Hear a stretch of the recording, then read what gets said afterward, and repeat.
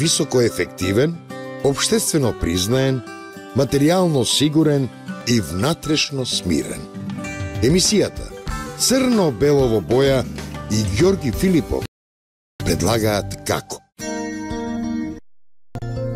Почитувани слушатели, добар ден, ја слушате емисијата Црно-бело во боја на радиото во боја.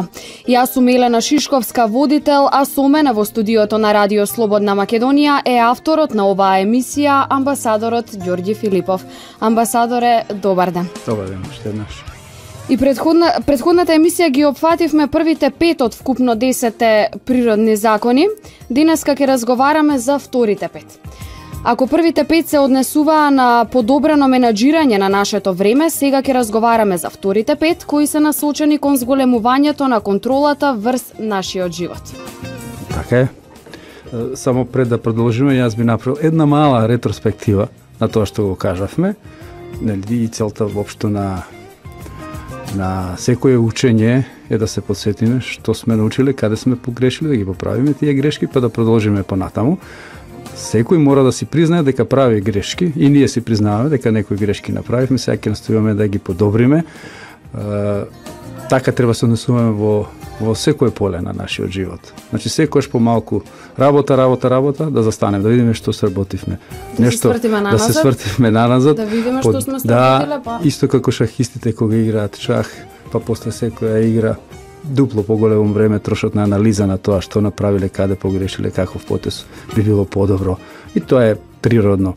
Не оти нема да грешиме понатаму, меѓутоа природно е да учиме на собствените грешки, уште подобро ако може на туѓите, меѓутоа кога собственото искуство е собствено искуство и затоа и ние ќе направиме една мала ретроспектива, значи ги кажавме тие пет закони, на крајот завршивме со она пирамида на која што кажавме дека дека во третиот закон дека најдолу на воопшто на нашето однесување се однесува, значи се постои постојат вредносните критериуми на основа на кои ние живееме. И понатаму се долгорочни цели, среднорочни цели е, и дневни цели, и според кои што ќе се мери пирамидата, е, односно остварувањето, односно нашата ефективност во животот. За тоа на основа на анализа на тоа што сме направиле или што сакаме или што не сакаме, треба да направиме на некој начин избор на нашата кариера, што не значи дека тоа ќе биде еднаш за секогаш даден избор. Сега вие сте водител, јас бев едно, бев друго, бев трето, во текот на животот човек ќе биде принуден малку и да ја менува својата кариера зависи од тоа што се условите, бидејќи тој не живее сам за себе, тој живее во една околина, тој делува на околината, меѓутоа и околината делува многу на него и условите во кои што се а, одвива тој живот, така што тој се прилагодува, настојувајќи она што е во него, секој човек си има некоја специфичност во себе, да го истакне на најдобар може начин и да а, има така наречена успешна кариера во животот. Бирајќи ја кариерата ние, што треба да направиме? Да го поделиме нашиот живот на категории според тоа на што го трошиме најмногу нашето време. Оти, еве да излеземе на улица сега да прашаме 10 луѓе, што сакате во животот? Малкумина од нив ќе знаат вистински да ви кажат. И како да одредиме ние што стварно сакаме, што на вистина сакаме, што е она што во ние на вистина сакаме да работиме во што би имале најмногу успех. Што треба да се направи за тоа? Да ја поделиме да го поделиме нашиот живот на категории и да се прашаме, да видиме на што најмногу време трошиме во нашиот живот. Тоа ќе ни каже што на вистина најмногу не интересира. Веројатно, тоа што најмногу Односно, интересира... да се го менаџираме времето? То, не, да, да, да се подсетиме на што најмногу трошиме време. Тој не сме знаеле ништо за менаџирање на време, за тај менеджмент, за планирање на кариера, планирање на живот и сега треба да одредиме ние каков, каква кариера не очекува живот. Да видиме прво на што најмногу го трошиме нашето време. Откако ќе одбереме таа категорија на што најмногу го трошиме нашето време, ќе се прашаме дали овие работи кои што мене ме интересираат, ме интересира сликање, ме интересира музика, ме интересира пишување, ме интересира математика, ме интересира историја, ме интересира дизајн, сакам да пеам, да видиме да се запрашаме што ако сите овие занимања утре се подеднакво платени, кое која работа тогаш јас би ја одбрал? Значи, бидејќи секој сака да каже, односно денес вие велите, па тоа не е доволно платено. Јас сакам да имам најмногу пари. Оние реклами, она што го гледаме на телевизија, во радио, е, западниот пристап кон животот, пари, пари, пари, пари. И е, склони сме да, да помислиме дека стварно е тоа, на вистина е тоа целта на животот, меѓутоа не е така. Значи, за да одредиме на вистина тоа што сакаме, ќе се прашаме што ако се сите тие работи исто платени, што најмногу не интересира. Тогаш ќе на ќе извршиме еден едно разрешување на конфликтот меѓу вредностите и и дневните активности. Ако треба, рековме, ако сме погрешиле, утре ќе ја смениме кариерата. Јас ако се прашам бев уште од студент, од музичар, студент, инженер, инженер технолог, инженер конструктор, па се префрлив на автоматика, додека студирав нуклеарна енергетика, магистрирав нуклеарна енергетика, почнав докторат нуклеарна енергетика, се деси Чернобил, значи влијание на околината, наеднаш сите истражувања во областа нуклеарна енергетика во поранешна Југославија беа стопирани, не само Југославија, целиот свет се мислеше што понатаму како ќе треба, ќе не треба, и морав да се преориентирам. Значи, вршам преориентација на автоматика Меѓутоа моравте. Морав, значи околината делуваше, значи и вие, и вие некогаш околината делува. Па не, не сакав, ја сакав да си продолжам со тоа што истражував. Меѓутоа има работи што се сакаат, има работи што се мораат. Наставно, животот продолжува натаму, вие ако станете упорно на нешто да сакате што не може да се реализира, тоа е веќе а, а, не сте ги одредили точно селите, бидејќи не го нема елементот на мерливост и на, и на на временска достигливост, така што мора човек некојаш да се приориентира. Зошто не е ни толку страшно. Човекот може се, може уште повеќе, може уште еднаш толку од тоа што може. Значи не сме ни свесни колку можеме. Знаете, во некои ситуации а, во животот ќе се зачудите колку сила има, снага има, например, во, во една жена, еве една мајка имаше тој пример го истакнуваат многу учители, подигна камион за да го спаси незиното дете. Што е невозможно таа. Не може ни 30 кила да подигне. Меѓутоа подигна камион. Во одреден момент на животот човек стварно не знае колкава сила има во него, така што и во нас, и да не се плашиме од тие промени кои треба да настанат. Да не се плашиме. Па јас сега си го знам ова, и сега ќе треба да учам ново. Некојаш уште подобро. Ке научите ново, му треба на, на вашето тело, на вашиот ум, на, ваша, на вашиот позив, на, на причината зашто се родиле, може би на вашата душа и треба едно ново искуство, затоа да не се прашиме од промените, Затоа рековме, мора да излеземе малку од зоната на комфорт. Сега убаво, јас ја знам само оваа работичка, сега наеднаш, не знам, се десила приватизација во Југославија поранешна, се распадна државата, а ние мора да живееме. Се се татко ми велеше, па ние живеевме од две држави, па голема чуда, ќе живееме уште една. Тој не се плаши, ние се исплашивме што сега. Меѓутоа, нема потреба од страв. Едноставно, кога се знае дека за да се постигне нешто, треба да се излезе од, од, од таа зона на комфорт, тоа мора да се направи. Синој ќе постирав нешто на, на Facebook а, против и за навиките. Ние, ние имаме добри навики, имаме лоши навики. Добрите да гледаме да ги зачуваме, лошите да гледаме да ги искорениме. Тоа не е едноставно. Навиките можат да не воздигнат и да не лансираат во некое подрачје, навиките можат и да не уништат. Една од лошите навики е прокрастинација, така наречено одложување на нештата. Постојано одложување, утре ќе го направам тоа, задутре ќе го направам тоа, познато е кај пушачите. Значи тие на секогаш се откажуваат од пушење од утре или од понеделник или од нова година. Така. Меѓутоа не или почнуваат со диета од не, овој понеделник. А, тука, тука се тие со диетата.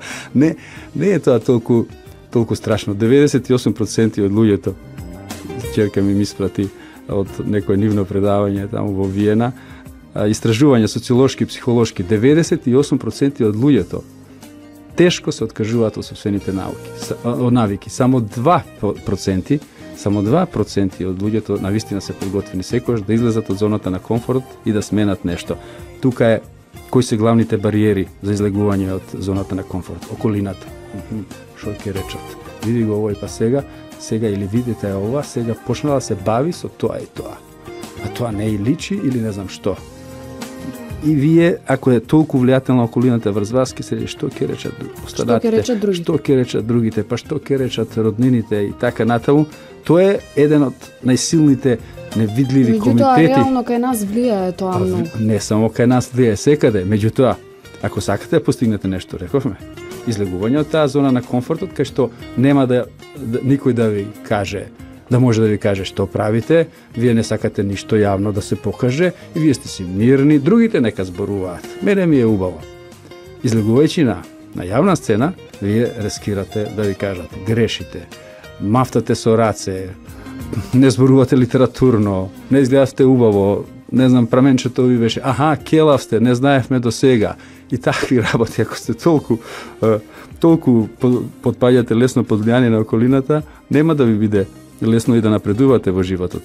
Други... Професора, дали може да, да направиме сега една кратка пауза, ме известуваат да, од режија дека дека мора Ете, да одиме. Ете, околината како влијае на нас. На нашиот работи разговор. мора да. да се послушаат. Нема проблем. Одиме со кратка пауза. Реклами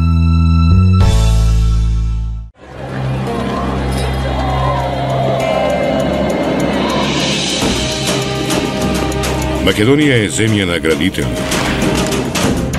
Славиме, градиме и победуваме. Бетон ја гради Македонија.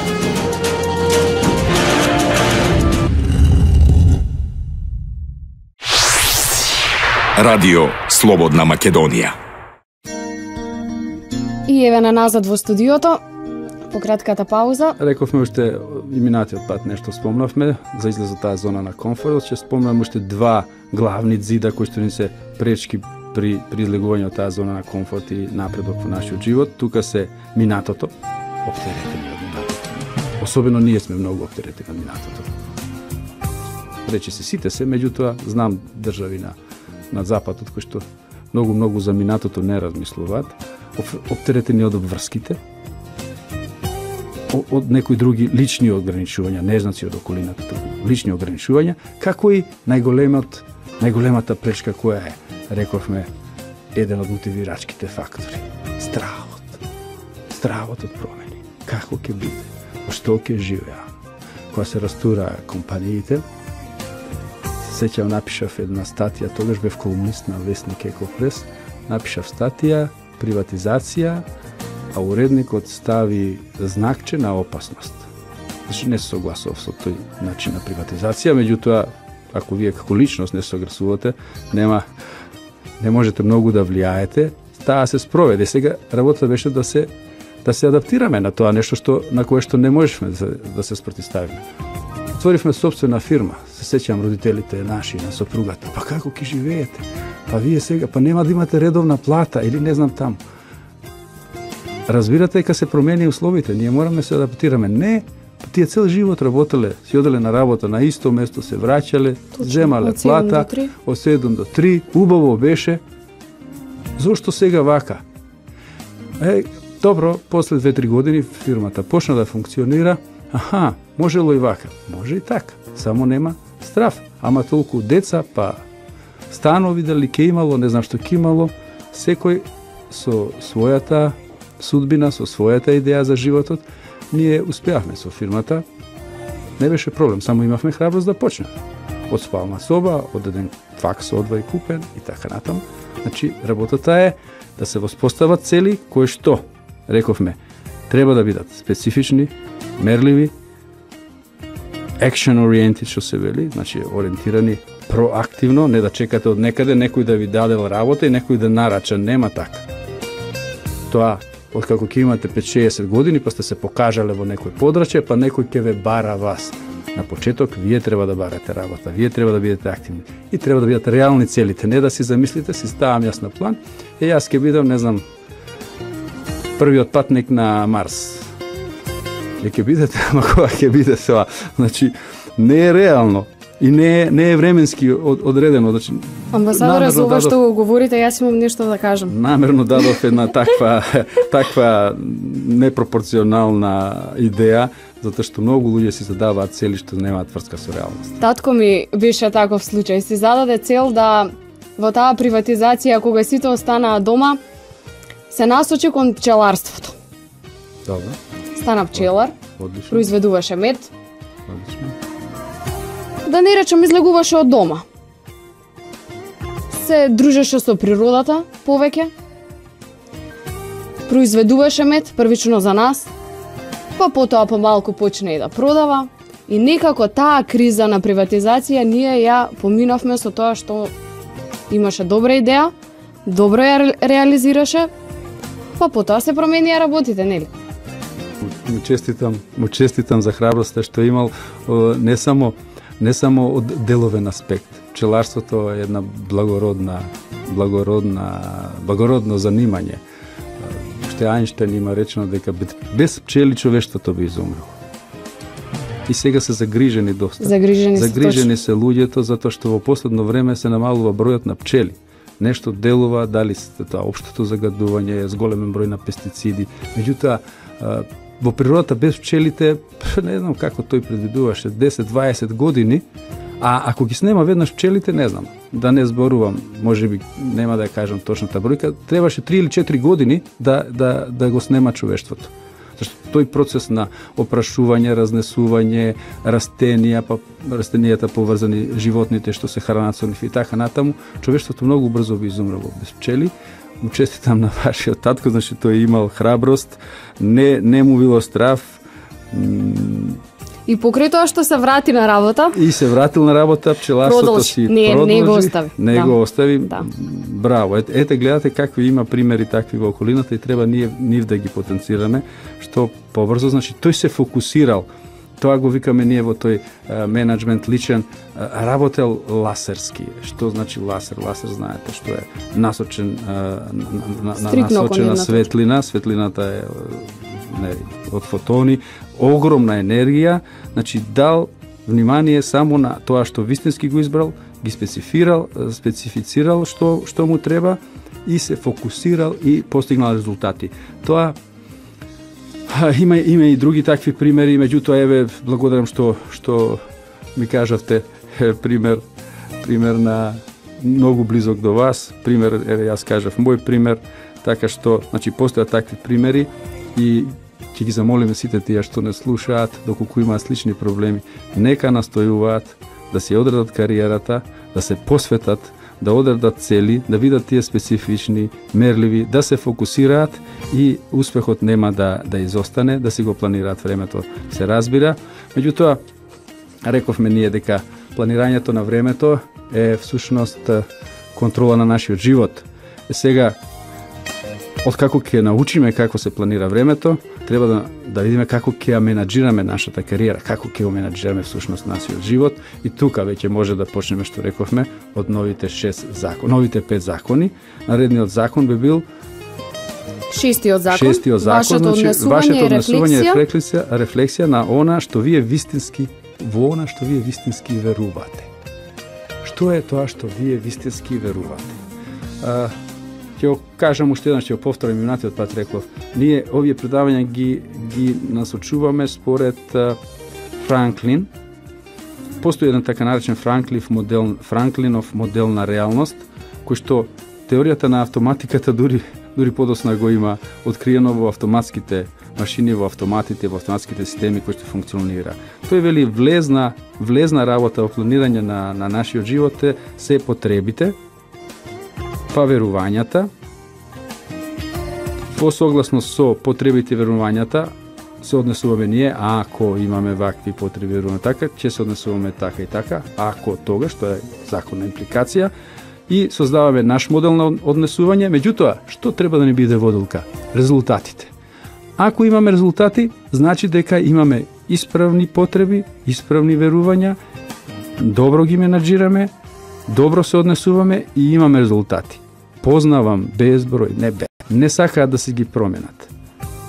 Моделите нивни, она во што веруваат, не сака да се ги променат потребите, не постигнуваат резултати и упорно за тоа откривуваат општество, држава, влада, е, масоните, не знам кого. Зашто? Зашто не го почитуваат овој модел. Ако нешто не дава резултати, тоа значи нешто е погрешно. Ако нешто не да нешто треба да промениме во нашето однесување. Тоа е како Меѓутоа да тргнеме од самите себе, нели? Не Така, секојаш тргнуваме сами, ама земете вие возите автомобил.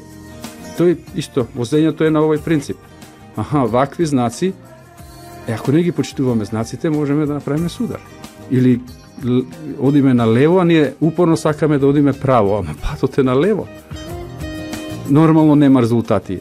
Судар, превртување на автомобил. И во животот е така.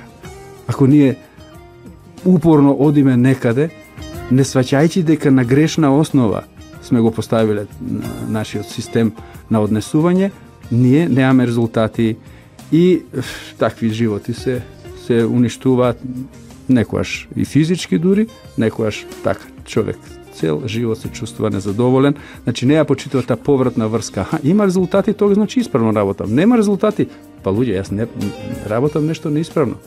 Дај нешто да променам. Значи, многу важна работа е да тргнеме од нашите потреби, тркалото на потребите. Како што рековме при одредување на, на, на, на тоа како ќе менеджираме кариерата, што е она што најмногу ние го сакаме, на што трошиме најмногу време, во основа постојат четири врсти на потреби. Потребата нормална, нели, нема да зборувам сега за она пирамида на Маслов, меѓутоа ќе го сведеме тоа на четири врсти на потреби. Првата потреба е да се живе. Значи човек да биде жив. Ако не е жив, сите други потреби немаат никаква врска. Втората потреба е човекот да сака некого и да биде сакан. Не мислам тука само на, на она обична љубов или е, сакање поврзано со секс или сакање поврзано со некоја зависност од не знам чоколади, од пење, од алишта и така натаму. Третата потреба е да се биде значаен некој може ќе ме обвинате од тоа е егоист, не знам, тоа е горделивост, тоа е негување на егото, не. Колку и да е убав и тетовски ли е и не знам каков е, нема нема да ни биде добро, нема да не не, е- не е воопшто добро за нашиот развој. Е, постојано еднаквост на све, еднаква облека, еднакво работно место, еднакво занимање, секојаш истите колеги, се враќаме дома секојаш исто, се исто, се исто, се исто. Тоа до, до, До доведува до, до, до едно, а, како да го наречеме тоа сега, тоа е едно замајување, една, едно, едно повторување, а, во еден изгубен дуциклус, да го наречам тоа автоматски или компјутерски, заглавен заглавен дуциклус кој што нема излез. Затоа потребно е некојаш нешто да се смени, па затоа постојат саботи, недели, излегување, викенди, попладне, затоа постојат другари, постои маж, постои жена, меѓутоа постојат другарки, постојат другари, затоа постојат свадби, родендени, да се излезе човек да размени нешто, затоа постојат паузи, така, и, и човек треба и тоа да го негува, значи потребата од различност. Се Дали замисли- сега ќе направиме пауза? Може, Може? може, може. Веќе спомнавме пауза, од режија ме информираат дека е време за пауза. Секое време си носи своји правила. Она што е модерно, треба да се сподели. Чест ми е да ја најавам новата апликација на Радио Слободна Македонија, која го опаметува вашиот паметен телефон. Слушајте Радио Слободна Македонија на интернет. Симнете ја гратис апликацијата. Еве, по кратката пауза се враќаме повторно. Хајде сега да замислиме овие потреби што ги наброевме. Потреба да се живее, потребата да се сака и да се биде сакан, потребата да се чувствува значаен, потребата од различност и да ги сместиме како тоа да бидат е, четири шпици од едно тркало. И тоа да го наречеме ние тркало на потребите. И тоа доколку сите шпици се равноправни, доколку се е во ред, доколку нема некој крах, тоа тркало може слободно да се движи и ние, значи, е, тие потреби да ги конзумираме нормално, убаво да се одвија животот како што треба. И тоа замислив дека една од ние сме заглавиле во една од тие шпици. Еве кога го спомнавме егото. Замислив ние да потребата да се биде значаен, да биде главна. Тоа значи заринкување на такавото од потребите. Замислите еден точнак на кој што една четвртина од шпиците му се му, му, му се му, му се искршени. тоа тркало нема да се движи. Вие сте заринкале обичната потреба прераснала во болест. Е тогаш нема напредок. Значи вие не ни може да одите понатаму по Нема Франклинскиот напред, нема назад, не можете ни да одите понатаму, не се ни важни верувањата веќе. Вие сте се вкопу, вкопале во една од потребите, само една од потребите. Нормално дека настанува застој во, во, во, во вашиот живот. Нема мрднување, нема развој, нема, нема, нема ни резултати. Вие веќе станувате препознатлив како таков, кој што има само таква потреба, почнува да ви избегнуваат луѓето, или најмалку ако сте на позиција од- одредено време ќе се плашат, па меѓутоа нема напредок, нема напредок. Тоа исто и за општество важи, не само за и за, и за организација која ќе се вкопа само во, во една од потребите и заборави дека животот е една лепеза од, од действија, се вкопува во една од потребите и нема понатаму напредок. Тоа како го дознаваме? Рефлексијата на нашите вредносни критериуми и ставови кон на пример зборуваме понатаму за втората алка верувањата. Во што веруваме ние? Во што веруваме? Многу е важно какви се нашите ставови по одредени прашања. Зашто нашите верувања понатаму диктираат како се однесуваме во општеството. Например, каков е нашиот став кон абортусот?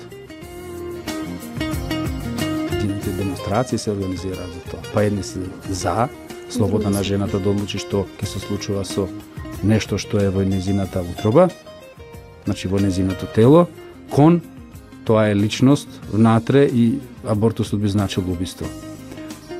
За дали е тоа личност, дали има душа, дали нема душа, тука се многу прашања, меѓутоа е верување, имате право да верувате и вака, имате право да верувате и онака. Ќе значи многу како ќе се однесувате понатаму ви во живот. Или служењето војска. Уште во моја време имаше луѓе што не сакаа да слушаат војска, да служат војска. Јас бев во војска. Се тоа се исто. А, не сакам да земам оружје во рака, не, не знам, тоа е губење време и така натаму. Некој вели па чекајте, во војска се не е само војска, во војска се учи дисциплина, се се учи одбрана за не дај Боже, ако биде нападната нашата земја, се запознаваат разни карактери, се запознаваат луѓе од тогаш многу пошироката татковина и така натаму. Значи има и за и против. Или потребата од образованието. Какво да биде образованието? Вакво да биде, такво да биде. Да биде обврзно, да не биде обврзно. До кога да биде обврзно, до кога? Дали му користело некому образованието, дали не му користело. Имате такви изјави. Некој ќе рече, јас ништо не учев, па еве, имам не знам колку Каде стигнав? до кај стигнав, некој ќе рече има докторат, па нема работа. Значи, какво ви е убедувањето? Споредбени вредности на примањата, правата на хомосексуалците. Гледате колку во последно време, па да, последните 2-30 години се посветува внимание на тоа. Дали е хомосексуалецот човек кој што е роден со, со, со, со, со таква предиспозиција или е хомосексу... или, или хомосексуалноста се стекнува заради влијание на околината. Па едни велат дека хомосексуалноста е исто како да имате зелени очи, значи вие сте се родиле таков и нема што тука и што сте вие крив, или други велат не, тоа е заради тоа што гледаме многу вакви филмови, многу такви филмови или не знам, влијание големо на околината и го сметаат за болест.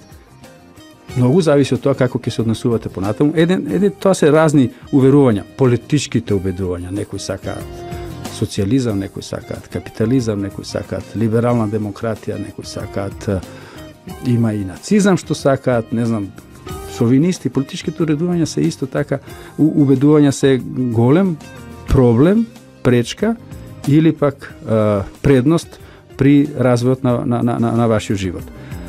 Полната или расната дискриминација, ви знаете до до скоро во Швајцарија не, не смеа жените да гласаат. Една, една централна држава во Европа, толку развиена, некој смета дека жените не треба да гласат, некој смета дека треба. Е, или расната дискриминација, се уште не е искорената работа. Официјално да, меѓутоа неофицијално се уште постои во многу држави на светот. Религијата, особено денес, гледате, дури во, во една религија, лесно да кажеме христијанство, во самото христијанство има толку гранки. Во, во самиот ислам има толку гранки има други религии што ние не ги малку се далеко од нас, па не ги спомнуваме, не знам, хинду религијата, анимизмот. Вашето убедување многу зависи од животот. Дали е нормално да јас сакам да имам 15 деца, јас сакам 5, јас сакам не знам. Религијата некош го одредува и односот према абортусот. Значи, вашите уверувања, гледате, на изглед ке решите тоа нема врска со мојата кариера и со мојот менеджмент на мојот живот, меѓутоа ите како има, бидејќи ако се заглавите во едно од овие, во вашите верувања, исто така не може понатаму да функционира системот. Односите во семејството, нема што жена да один работи, нема што жена да мисли. Старинско размислување, јас сум тој кој што и така, или обратно. Аха, и жени не идат на работа. Или децата. Во во едно место кај што сум јас израснен, беше најнормално дете од 5-6 години да оди на нива и да работи не ни помислувавме дека тоа злоупотреба на трудот на детето. Тоа било повеќе и така од занимање отколку некаква злоупотреба, меѓутоа во некои држави во Западна Европа е забрането воопшто дете да работи до 12 години. Имате меѓутоа многу компании, нарочно на истокот од, од односно во Азија, кај што ангажираат деца поради што постигнуваат поевтини цени на производите, што да дете го плаќаат, не знам, 50 евра месечно, што е детски труд, не иде на школа. И, и слични убедувања. Музиката. Сте за рок или против рок? Може да замислам како им било на родителите кога ние свиравме рок. Фала Богу што имавме една мала куќа на страна, па не беше дома. Меѓутоа, дали е класична музика само, дали е народна, дали е фолк, дали е турбо фолк, сакате опери, сакате да слушате само симфонии, сакате црковна музика, сакате хорска, сакате не хорска. Значи сето сето тоа е исто е еден од едно од верувањата кое што влијае на на вашиот на тамошен живот. За односите за семејство, во семејството веќе зборувавме. Себе ценењето, односно да се цените себе си е многу важна. Многу важно верување. Да не се подчинувате на на туѓи влијание, па ако е некој од не знам од Македонија, тој не може да биде врвен научник, или не може да биде врвен писател, или не може да биде врвен сликар, или врвен музичар, и вие самото тоа дека сте се родиле во не знам мала држава, вие не смеете да да напредувате е, во културниот надпревар, рековме минатиот пат, низ во, во светот, што не е точно. Не е точно. Отидете на некој симпозиум, на на семинар, ќе видите дека нашите експерти рамноправно се носат и со странските експерти понекош е проблем да се одиде на тие симпозиуми. Значи зависи од тоа колку се вложува во во во наука, зборував за наука сега, тоа слично се однесува и за надпревари во сликарство. А како повеќе да се цениме самите себе? А да се цениме самите да. себе, значи, значи нема како, тоа е во нас. Значи ќе зборуваме за тоа малку понатаму. Тоа е во нас едноставно да сватите дека сите луѓе од, род, од родување се исти. И нема врска што вие сте се родиле во Скопје, па дали сте се родиле во Карпош или на Водно или во Керамидница. Ако сте на Водно, не е по гаранција дека важиот мозок е сигурно подобар отколку на тој во Керамидница. Или дури на тој во некое село, не знам, на Шар планина или не знам каде. Само се подсетиме, голем дел од врвни умови се родени во село од Никола Тесла па до не знам колку писатели, па колку уметници, па и државници светски, политичари, иако тие побрзо се забораваат од овие во науката и во уметноста и писателите, така што ако речете, не знам, Айнштен, сега нема да имате врска кој бил тогаш во Германија канцелар или крал или не знам што кога се родил Айнштен, меѓутоа Айнштен го спомнувате се уште. Така што од прво од, од тоа тргнуваме, да не ви да да се цените себе си како човек, а не тоа дека ако вие потекнувате од некаде, имаме таква тема, mm -hmm. ќе збориме ако вие сте автоматски некој што помалку вреди. Тоа особено го чувствував по меѓутоа сега вие новата генерација ви честитам, значи тоа е сега помалку. Гледам јас во странство како нашите млади и умови, и сликари, и пејачи се се докажуваат равноправно со сите останати. Точно е дека го немате тој позадината Значи ние не можеме да ве поддржуваме толку колку што можат нив да ги поддржуваат не, авај нивните држави и средината од која што доаѓаат. Меѓутоа, ако се ако постои талент, ако постои е, истрајност, упорност, нема нема граници што не може да се пребродат. Значи, да си се цените себе си, тоа не значи да се преценувате. Да се разберемо, ти има и такви. Се се замислат дека се тие сега не знам што и тие се едноставно најдобри, забегувате во друга страна. Што исто е исто така опасно. Зависи од одговорностите, рековме, во верувањата спаѓаат и одговорностите. Ако сте расчистиле со потребите, значи тие да бидат нормални, да се тркалаат, сите да бидат раз, така, да не се вкопате во одредена потреба. Ако се расчистиле со уверувањата, значи да бидете свесни за тоа. Ние не можеме да кажеме што е правилно или што не е правилно, зашто тогаш би одредиле дека е, е правилен правилно е католичанството во однос на ортодоксијата или протестанството. Никој не може тоа да го каже. Вие имате право да си видите тоа, тоа и тоа. Што, ама многу е важно да се знае. Да си знаете што сте, да си ги знаете вашите верувања, вашите убедувања. Зашто резултатите ќе ви докажат дали имате право или не во однос на, на, на резултатите што ќе ги постигнете. Ако си ги знаете потребите, си ги знаете верувањата, тие го диктираат вашиот модел на однесување. Како вие се однесувате во, во, во средината. И свели. Потребите, верувањата и правилата се вообичаено веќе во нашиот тум, во нашето цело битие, иако ние не сме свесни за тоа. Тоа го кажав што на самиот почеток. Работата е да станеме свесни за тоа.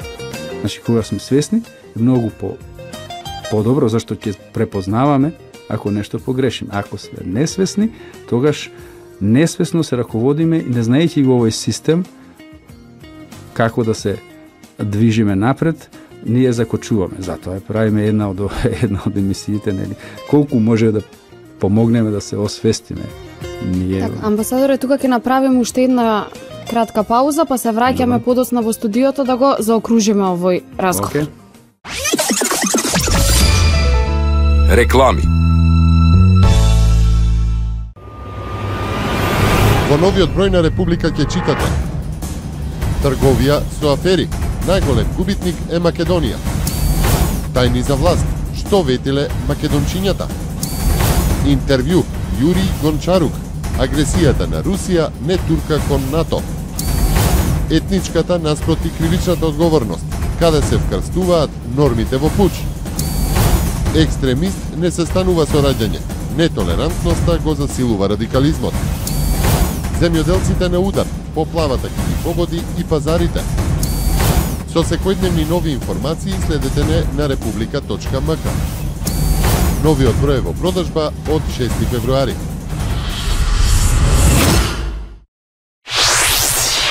Радио Слободна Македонија. Еве по кратката пауза се враќаме назад, професоре да го заокружиме ова наше денешно дружење.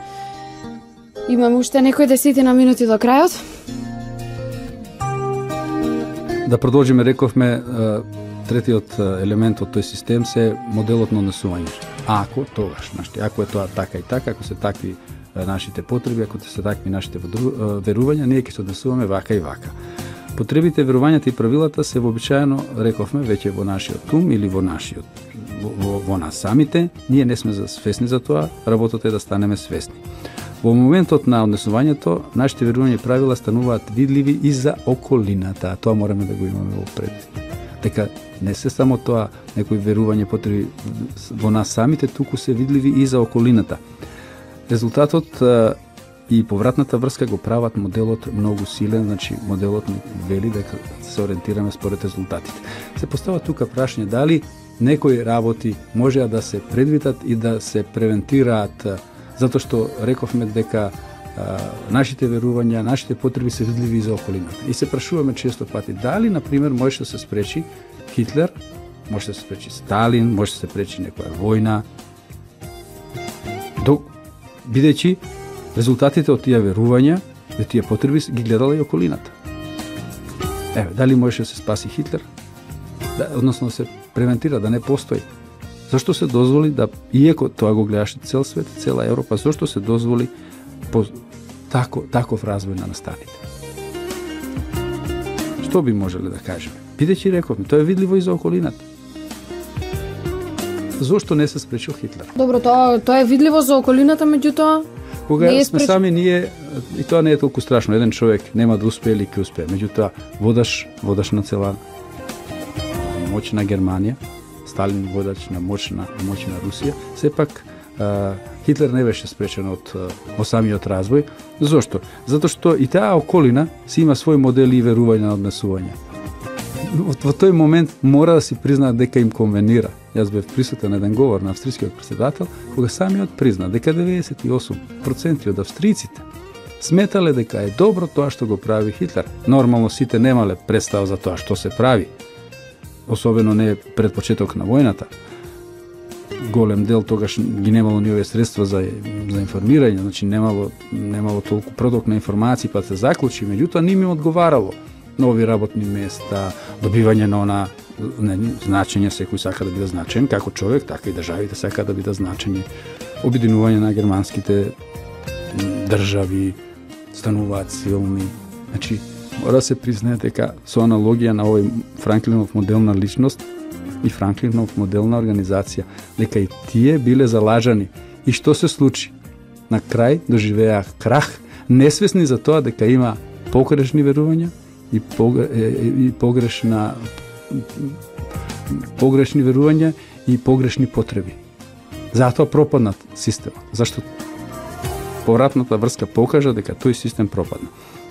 Бидејќи потребите не беа во склад со, со реалноста. Значи, ако резултатот на нашето однесување е во склад со потребите, во ред системот продолжува.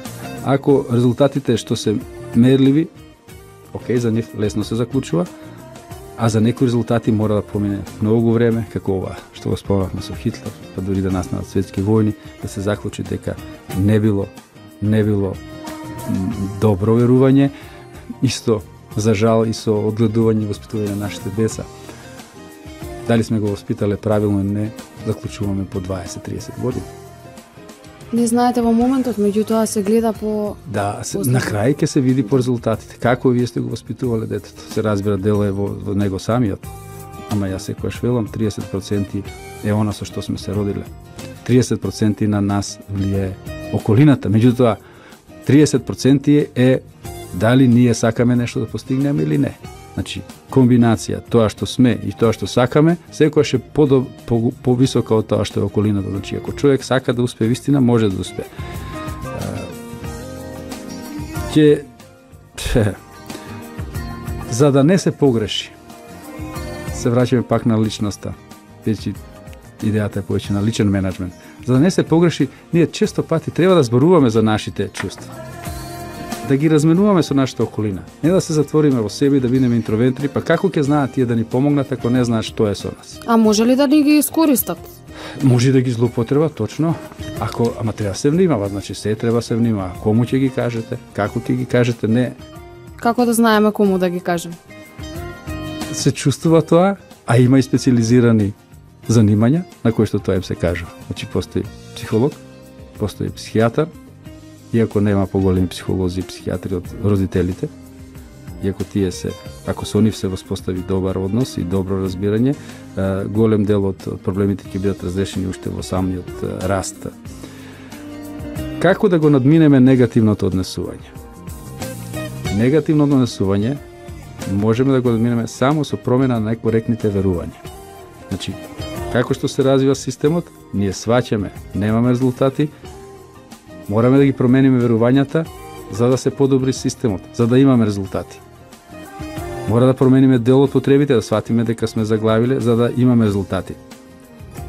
Ако не ги промениме, а, живееме така наречено реактивно, не активно. Значи, нешто се случува, а ние не ќеме да не ќеме да реагираме. По кои симптоми ќе го препознаеме тоа? Дали еве да не чекаме некакви резултати во физичка смисла, големи плати, е, унапредување на работно место. Има има симптоми кои што кажуваат дека нешто не е во ред со нашето однесување. Прејадување, е физички симптоми. Преработување, имате врхолици, луѓе кои што не знаат да работат ништо друго освен да работат. И тоа е мана. Да се работи, да се работи, да се работи. Тоа е еден симптом дека нешто не е во ред со вашите верувања. Пушењето, кажавме, ќе се откажуваме секое утре или секој задот или од нова година, преспивање, се спие многу долго, неконтролирано купување. Фала Богу, имам во моја околина. се купува и што ви треба и што не ви треба, после се чудите и колку ташни имате, колку чевли имате, тоа некој може да си го дозволат, некој не, ама е симптом за нешто што не функционира. Оговарање, обожаваат луѓе да оговараат, малтретирање на децата и партнерот, тоа се веќе изразени тешки форми, врескање на децата, да не зборам за злоупотреба, претерано фалење, кажување масни вицеви, брзање, алкохол, дрогирање, сето се тоа симптоми кои што кажуваат дека нешто не е во ред. Имајќи, секојаш треба да имате исто во предвид дека вие не сте еден човек. Вие сте минимум 10 луѓе во вас. Вие сте сега водител, вие сте сопруга, вие сте партнер, вие сте мајка, вие сте менаџер, имате пријатели, може би нешто тренирате или сте тренер, или играте, или предавате, вие сте учител, вие сте сликар, вие сте музичар, ако имате, значи вие сте повеќе луѓе во себе, не сте еден човек. Е, така што треба да имате во предвид дека и сите тие потреби исто така треба да се ускладат, да, да, да за да, да бидете комплетен. Значи, да не заборавиме дека ние сме повеќе луѓе. Не сме само едни. Што на вистина сакаме од себе? Што е тоа што работеше во мене во минатото? Секојаш треба да се да се прашуваме. Што е тоа што работеше? Значи, некогаш ми беше добро, сега не ми е добро. Дај да се присетам што беше тоа што ми беше добро. Дали може би се занимавав тогаш со вистинската работа? Присетете се од време на време што беше добро поминатото и вратете се на тоа. Да не ве мотивира само стравот, рековме, тоа е најниско, најнисок, најниско ниво на мотивација. Да не, да, да не ве мотивира само врската, рековме да ве мотивира и љубов, љубовта кон нештата. Сетете се што сте сакале со, со љубов да работите и Избегнувајте го стресот ако е можно, иако колку е можно. малку е, можно, тешко е тоа можно. затоа што тука има тие ѕидови околината, влијание. Меѓутоа стресот често пати и сами си го предизвикуваме, без разлика од овој временски стрес, дали ќе стигнеме ваму и колку треба да заврши таа или кога да почне емисијата и дали ќе дојдам на време. Поголем стрес е од тоа што е во нас самите стравот од мислењето на околината, премногу наши материалистички барања. Можеме да се најдеме долгорочно во, во еден голем проблем доколку не сме свесни за тој стрес што сами си го предизвикуваме, што нема врска со околината, со времето и така натаму. Јас би Амбасадоре, тука некаде треба да завршуваме една водилка треба да имате предвид, бидејќи немало порано учители за тај менеджмент или за личен менеджмент, луѓе читале Библија или некои учители кои што често пати не запишувале, има стократ не запишал ништо во својот живот, па сепак се уште го спомнуваме, Платон, благодарејќи на Платон. Сепак, едно општо правило, колку давате повеќе, толку примате повеќе. И толку ќе имате повеќе. Колку да мислите дека не е точно, точно е. Јас сум го искусил, ќе го искусат и тие што ќе имаат доблест да почнат со него, учете, учете од другите и учете ги другите. Учењето е трансфер на енергија, не е само не е само примање на или солење на памет. Учителот учи повеќе од студентите отколку тие од него. Давајте и ќе ви биде дадено. Подарок над подароците е вашиот знатешен мир, спомнав на минатата емисија. Ќе видите дека тоа се отстранува, дека тоа се постигнува, да ве посетам само на еден стих од Библијата, давајте и ќе ви биде дадено. Како што мерите, така ќе ви биде мерено. Врв на, на, на учењето за личен менеджмент.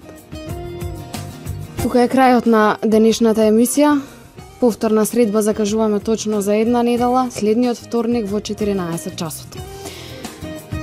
Трговско радио дифузно друштво Радио Слободна Македонија. Водител Елена Шишковска. Автор на емисијата амбасадор Ѓорѓи Филипов. Датум на емитување 10 февруари 2015 година. Продукција Радио Слободна Македонија. Секој човек сака да стане високо ефективен, обштествено признаен, материјално сигурен и внатрешно смирен. Емисијата Црно-белово боја и Ѓорги Филипов предлагаат како?